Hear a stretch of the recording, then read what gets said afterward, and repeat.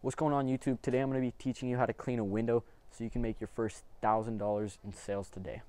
All you're going to need is a mop, a squeegee, a towel, and a bucket full of soap.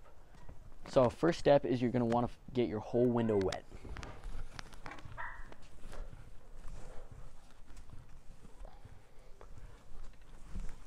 Once that's done, pull out your squeegee. Now there's two ways of cleaning windows. The first way is called the straight pulls. What you're going to want to do is go up to the top of your window, feather a little bit to pull the water down, and then pull straight down the window. I like to dry the end of my blade on the side that's to be on the dry window, not leave any streaks.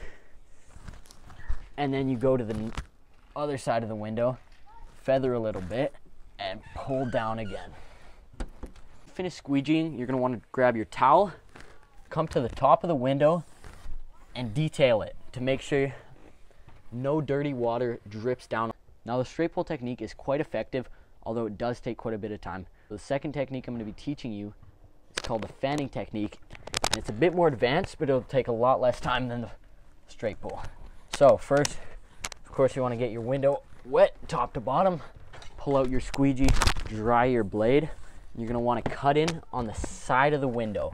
Once you're up here, bring your blade across, flatten it out at the top of the window, bring it down, and always look at the top end of your squeegee. Make sure you're getting all the water. Keep doing this, taking down the pile of water until you're at the bottom and you can close the window on the side like so. Now once you finish squeegeeing, you're gonna wanna grab your towel, come to the top of the window, and detail it. No dirty water drips down on the clean window. You also do it on the side of the window and you can do it on the bottom. It's kind of optional, but it's always good to do. If you're cleaning a door, I like to wipe down the bottom of the door so no dirty water stays on. Make the clients extra happy. Now that's how you clean a window. This video helped you. Like and subscribe, and I'll see you next time.